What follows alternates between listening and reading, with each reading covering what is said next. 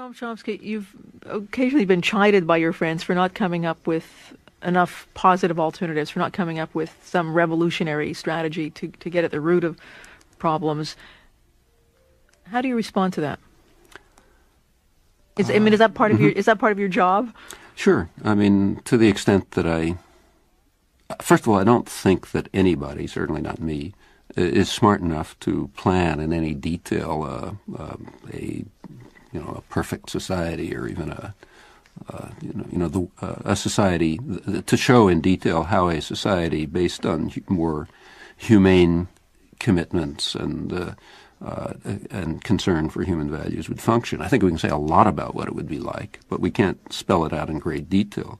Furthermore, what it would be like, I think, is reasonably well understood and has been for, in, in some ways, for centuries. Uh, we would like to see a society in which people, in which we overcome coercive institutions.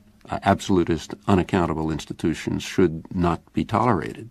In our time, that means primarily the uh, uh, financial and corporate centers, which are basically totalitarian in character and are now transnational in scale, and the state powers that, uh, uh, and, and by now larger than state powers, that respond to their interests.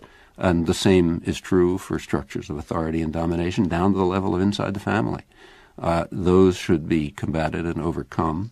Uh, we should work for uh, democratic control in communities, in workplaces, over investment decisions, uh, uh, uh, eliminating hierarchic relations and relations of dominance among people and states and ethnic groups and so on.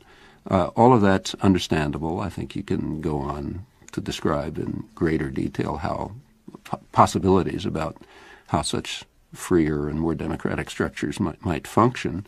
But the real answers will come by experience and testing. We don't.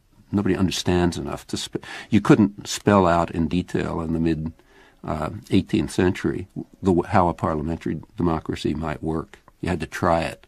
The general ideas could be there, but you had to try them and explore them and uh, experiment with them and so on. And the same is true of uh, expansion of freedom and democracy and justice today. As for a revolutionary strategy, I've never heard of one. When I look over history, the only strategy I see is trying to educate yourself, to help others become educated, to learn from others, to uh, organize, uh, uh, and to the extent that organization proceeds, to uh, uh, take action to try to uh, relieve injustice, to uh, extend freedom, and so on. Now, that action can take many different forms. So, just in my own life, I've been involved in things ranging from direct resistance uh, to uh, giving talks or you know taking part in meetings. And there, there, are no further secrets, as, as long as far as I'm aware.